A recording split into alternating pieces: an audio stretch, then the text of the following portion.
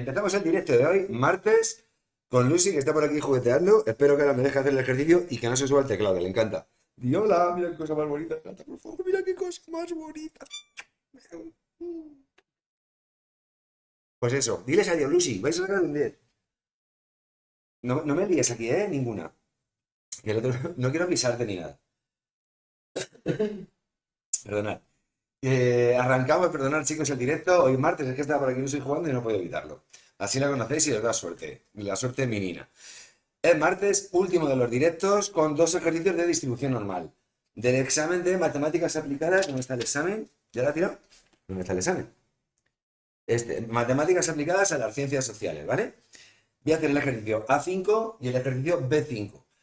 Podéis elegir los dos, incluso. Ya hemos hecho todos los ejercicios, por eso os digo que es el último directo. Vale dos puntos cada uno. Y si se os da bien la distribución normal, es bastante sencillo, ¿eh? Bastante. Los de probabilidad, por ejemplo, en este examen, en este modelo, eran muy fáciles. Es del modelo de Madrid de este año. Vale, vamos a ver. Eh, calificación máxima dos puntos y leo el enunciado. El tiempo diario de juego con videoconsolas, ya empiezan mal, de un estudiante de secundaria, igual es verdad y todo, sigue una distribución normal de media mu, no me dice la media, y desviación típica 0,25 horas. Lo cual significa que la media también tiene que estar en horas, ¿de acuerdo? Leo otra vez para que lo veáis. El tiempo diario de juego con videoconsolas de un estudiante de secundaria sigue una distribución normal de media desconocida y desviación típica 0,25. Y en el apartado A dice, se toma una muestra aleatoria simple de tamaño 25. Eso es n, es el tamaño de la muestra. Y me pide, calcula la probabilidad de que la media muestral x, esta, esto es muy importante, calcule la probabilidad de que la media muestral no supere, es decir, sea eh, menor o igual que 2,9 horas para si la u, si la media es 2,75 horas. ¿De acuerdo? Me están pidiendo esta probabilidad. Leo otra vez. Se, ay, que me caigo. Se toma, es que he puesto una alfombra. Se toma, porque tiene un accidente casero antes, he tirado aquí el zumo naranja, bueno, está todo pegajoso, me da igual. Se toma una muestra aleatoria simple de tamaño 25. Calcule la probabilidad de que la media muestral, X con la rayita arriba, esa es la media muestral, no supere, es decir, sea menor o igual que 2,9 horas si esta media es de 2,75 también en horas. Si no estuvieran ambos datos en horas, si tenemos, si tenemos esto en horas, esto en minutos, tendríamos que pasar ambas cosas a las mismas unidades, ¿vale? Pero esto está en horas, esto está en horas y esto está en horas. Luego leo el apartado B, ¿de acuerdo? Vale. Esto es muy sencillo, pero solamente por este dato me dice de que la media muestral no supere, ya está haciendo que esta distribución normal cambie. Y lo que se hace siempre, pongo aquí la teoría, es coger la desviación típica, que era 0,25, y dividirlo entre la raíz cuadrada de n. Solamente por haberme dicho eso. Si me hubiera dicho, calcula la probabilidad de que la duración del tiempo de juego de un estudiante, así, sin decir media ni nada, no supere las 2,9 horas, no habría que haber dividido entre la raíz cuadrada de n. No necesitaríamos el tamaño de la muestra. ¿De acuerdo? Muy importante eso. Lo explico muy bien y muy despacio. Bueno, muy bien, es mucho decir. Lo explico mucho más despacio en los vídeos que grabé de este tema de distribución normal, que los podéis ver. Hay un montón. Buscarlos en, único, en, en unicos.com, en o en el canal de YouTube si queréis, ¿vale? Pero en las dos páginas web están ordenados todos los vídeos gratis por asignatura, por curso, por tema y por lección. Con ejercicios, con teoría y con un montón de cosas más. Somos la bomba. vale. Eh, una vez que tenemos claro esto, tenemos que calcular nuestra nueva distribución normal, cuya media es 2,75, y tendrá una nueva desviación típica, entre comillas, que será los 0,25 que me estaban dando, entre la raíz cuadrada de n, que es 25. La raíz cuadrada de 25 encima es exacta y me da 5. Y 0,25 entre 5 es 0,05. ¿Sí, no? Vale. Perfecto. Esa es nuestra nueva distribución normal. Lo voy a hacer otra vez, que luego me confundo en estas cosas y me da mucha rabia. Sí. Vale. Eh, ¿Qué se hace ahora? Bueno, pues es tan fácil como que tipifiquemos. Z será menor o igual que 2,9 y lo que se hace es restar la media y dividir entre eh, la media. restar la media y dividir entre la desviación típica, pero no esta desviación típica, sino la que tenemos en nuestro apartado, que depende del tamaño de la muestra. Y lo hacemos. Y sería la probabilidad de que z sea menor o igual 2,9. Bueno, pongo las decimales donde quiero. En fin, perdonad, ¿eh? Yo que estoy acostumbrado desde pequeñito a ponerlos arriba, menos esta media que es 2,75, partido entre 0,05. Y lo hago con la calcu. A ver. 2,9 menos 2,75, 0,15, dividido entre 0,05, pues es 3. Me queda menor o igual que 3. ¿De acuerdo? Pues qué guay. Pues va a dar 1. no, no va a dar 1. Vale, y ahora cogemos la tabla de distribución normal que me la dan en el examen. Pero yo os he sacado y se puede imprimir de la página web, porque somos la bomba, os va a dar suerte, pone únicos. Te lo hice yo hace mil años. ¿De acuerdo? Bueno, pues en esta tabla habrá que buscar, como esto es menor o igual, no me va a dar ningún problema. Si fuera mayor tendría que hacer diferentes conversiones que he explicado, ya os digo, en los vídeos de distribución normal. Pero si es menor o igual, fijaros que aquí aparece, ahí va, que se ve, a ver si se ve, z menor o igual que un valor a, y ahora lo que tengo que hacer es buscar ese 3, lo tengo que buscar aquí y aquí. 0,1, 1,0, 2,2, 2,8 y aquí, y aquí están las, las décimas y centésimas. Eso es. Por ejemplo, si fuera el 2,45, pues buscaría el 2,4 con el 0,05 y sería el 2,45. Pero como es 3, busco el 3,00. Es decir, estaría aquí. No sé si se ve bien. No, no se ve bien porque no sé ni lo que estoy señalando. A ver si lo hago bien. Mirad. Es que como yo no veo, lo siento, chicos. Además se ve un poco raro, ¿no? Bueno, vosotros coger una hoja, pero mirad. El 3,00 estaría ahí. ¿Veis? Ese es el 3,0. Esta es la columna de 0,00, es ahí. Así que es que estoy bajando al revés. Bueno, pues ese sería ese numerito de ahí. Ese, que no se ve muy bien, pero yo os digo que da 0,9987, que creo que está bien. Lo voy a comprobar. Pero fijaros lo que hemos tardado. No hemos tardado nada, porque tenemos clara la teoría. ¿Dónde está? Lo hemos creado. Eh, y tenemos ya, no sé cuánto vaya esto. Pues valdrá, punto. Sí, supongo. Eh, hemos tardado nada, porque no sabemos esto de aquí, no hemos sabido calcular la nueva desviación típica, que era esta, porque hay que dividir entre la raíz cuadrada de n, etc. Bien, borro, daba 0,987. Esto lo dejo aquí porque me va a seguir haciendo falta seguramente, o no. Ahora lo veremos. No, no me va a hacer falta. No me va a hacer falta porque me dice que la muestra tiene 64 personas, así que voy a copiar el enunciado según me lo vaya leyendo. Vale. A ver. Dice, sabiendo que para una muestra aleatoria simple de 64 personas, con lo cual la n ahora es 64, imaginar lo que tenemos que hacer. Dividir entre la raíz cuadrada de 64, que es 8. Se ha obtenido un intervalo de confianza. O me dan el intervalo, no me lo piden, el intervalo de confianza. Mira, aquí los decimales los ponen arriba, en el examen. Y para. Lo ponen arriba además por una razón, porque si no, no se distinguen de esta coma. ¿Vale? Por eso yo siempre pongo los decimales arriba, no sé por qué lo digo por cambiarlo. Bueno, el otro. Sabiendo que por una muestra aleatoria simple de 64 personas se ha obtenido un intervalo de confianza, que es este de aquí, para mu de mu. No me la dice. Supongo que será la de antes.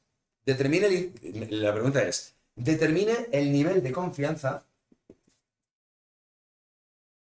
Eso que suelen decir siempre de calcula a un nivel de confianza del 95% el intervalo de confianza o calcula para el 99%. Me están preguntando ese porcentaje, el nivel de confianza. Pero este ejercicio hay que hacerlo al revés de lo normal. No me dice la media. Me la debería decir. Si no me la dice, supongo que será la anterior. Porque si no es imposible que pueda hacer. Bueno, no, no es imposible. Sí se puede hacer. No, no se puede hacer. ¿O sí? Eh, sí, la voy a poder calcular. No, no, no, por eso no me la dan. Atención, esto bola. Por eso no me están dando la media, ¿vale? Eh, de hecho, me deberían haber dicho para la, media anterior. Bueno, termina el nivel de confianza. Ya, que me he hecho un lío. Me está pasando lo que a vosotros si estuviera leyendo el ejercicio. Coño, ¿por qué no me da la media? Pues será la, media de antes, será la media de ahora. Este es el intervalo de confianza. Y el intervalo de confianza es la media menos el error que ahora digo lo que es el error, y la media más el error. Es decir, si aquí tengo la media, aquí tengo la media menos el error, y aquí tengo la media más el error. Y todo esto es el intervalo de confianza. Vale, pues este numerito de aquí, este es la media menos el error.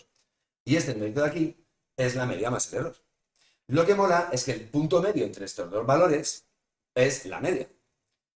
hay otra forma de hacerlo. La forma de hacerlo rara es decir que esto es 2,9388 y que esto es 3,0613. Y resolvemos el sistema. ¿Lo hacemos así? Venga, luego os digo cómo lo habría hecho yo. Lo hacemos así porque se va al error, con el error hacemos reducción, nos quedaría esto, sumamos esos dos valores, 2,9388 más 3,0613, mucho cuidado con la cálculo, chicos, 6,0001. Bueno, pues la media será dividir eso entre 2, porque pasa el otro lado dividiendo, y me queda 3,00005, con 4 ceritos. Pues muy bien, pues ahora nuestra media, nuestra nueva media es esta. ¿Vale? Bien. Si sabemos la media, ya podemos hacer el error, por ejemplo. Como esto es, si sustituimos, sustituimos aquí, nos quedaría 3,00005 menos el error igual a 2,9388. El error pasa sumando, este pasa restando. 2,9388. Y si hago la resta, me queda que el error, lo voy a poner aquí, es 0,06125. ¿Vale? ¿Lo habéis entendido bien esto? Bien, ¿yo qué habría hecho? Hombre, yo sé que la media está justo en el punto medio de estos dos valores, porque de aquí a aquí hay E y de aquí a aquí hay E. Por lo tanto, habría hecho la media de estos dos valores y me da esto, ya lo veréis. Vais a flipar. 2,9388 más 3,0613 6,0001 lo que me daba antes. Y si lo divido entre 2, porque hay que hacer la media, es lo sumo, lo divido entre 2, como, cuando hacéis la media entre dos notas, ¿vale? Y me da 3,00005. Muy bien. Y ahora, para calcular el otro no, hacía falta plantear el sistema. Por ejemplo, yo sé que la media más el error me tiene que dar 2,9388. ¿De acuerdo? Que ese 3... No, perdón. La media menos el error me tiene que dar 2,9388. Bueno, pues a este 3,00005 le resto esto de aquí me da el error seguro. 3,00005 le resto 2,9388 me da 0,06125. ¿Bien? También lo podría haber hecho con este de aquí. Espero que lo hayáis entendido. Ya veis que lo he hecho de muchas formas posibles para que no digáis. Borro, estos datos son importantes. Borro. Ay. Como esto está borrando, está limpiando el zumo. Papá. Estoy fatal, estoy fatal. Esto lo dejo aquí ya. Y ahora apuntamos la fórmula del error. Y el error es z de alfa medios por la variación típica partiendo de la raíz cuadrada de n. Como tengo el error, que este, esta fórmula hay que saberse la memoria. Eso sí, si no la sabéis, no podéis hacer el ejercicio. Y me queda 0,06125 igual a z alfa medios, que no lo sé, por la variación típica que era 0,25 partido entre la raíz cuadrada de n, que es la raíz cuadrada de 64, que es 8. Y esto se despeja pues muy fácil. El 0, los chungos de estos ejercicios la, en la cálculo. 0, como comáis un 0, o me lo coma yo, vale. 0,06125, el 8 que está dividiendo pasa multiplicando, y el 0,25 que está multiplicando pasa dividiendo. 1,96. Uy, cómo me suena este número. Vale, yo me le sé de memoria ya, porque hemos yo he hecho muchos ejercicios y sé a qué eh, nivel de confianza pertenece, ¿de acuerdo? 1,96. ¿Qué es lo que se hace ahora? Lo que se hace es hacer el proceso contrario que hacíamos cuando nos pedían ayer el intervalo de confianza. Ese 1,96 era el resultado de mirar la tabla a la inversa cuando hacíamos los ejercicios de intervalo de confianza. Insisto en que esto está grabado en vídeos mucho más despacio, ¿vale? Entonces, lo que se hace con este valor ahora para poder sacar el nivel de significación es hacer el proceso contrario al que se hacía en la tabla. busco aquí el 1,96, fijaros, que sería, a ver si se ve bien, más o menos, el, sería el 1,9 y el 0,06, porque 1,9 más 0,06 da 1,96. ¿A qué valor corresponde? El 1,96 a 0,9750. 0,9750. De hecho, podríamos jurar que la probabilidad de que la z sea menor o igual que 1,96 es 0,9750. ¿Vale? Y esto es z alfa medios. ¿De acuerdo? Vale. ¿Qué se hace con ese 0,9750? Lo que se hacía para poder obtenerlo, si os acordáis, lo expliqué en los vídeos, y la teoría es esta, podéis apuntarlo así. En los vídeos explico de dónde sale esta formulita, ¿vale? Por si queréis verlo. 1 más alfa dividido entre 2, este es el nivel, este es el nivel de confianza, en este caso nos tiene que dar 0,9750.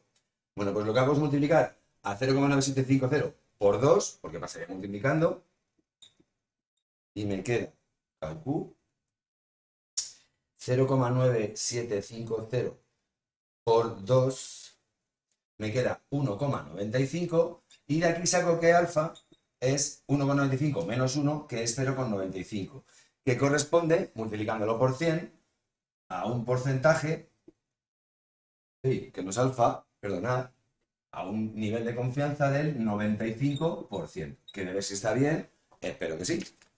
A ver, 95%.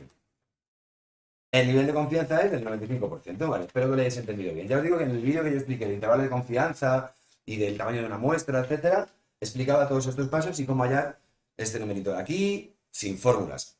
En este caso, con formulitas, muy sencillo. De hecho, os recomiendo que os aprendáis esta fórmula que es súper fácil de entender. Si en algún ejercicio, por ejemplo, me dieran el intervalo de confianza del 95% y me piden esto, el 95% lo divido entre 100 para que sea una probabilidad, para que sea, no sea un número porcentual. Ese 0,95 le sumo 1, lo divido entre 2 y me daría 0,9750. Cogería la tabla y miraría al revés, miraría los resultados y buscaría el 0,9750, que está por aquí y corresponde con el 1,96. Y ese sería Z alfa medios. Con Z alfa medios hacía esta operación y hallaría el error. Y como me daría en la media, pues podría ir el intervalo de confianza. La media menos el error y la media más el error. Ese sería el ejercicio si empezáramos desde este dato de aquí. Y espero que lo hayáis entendido bien.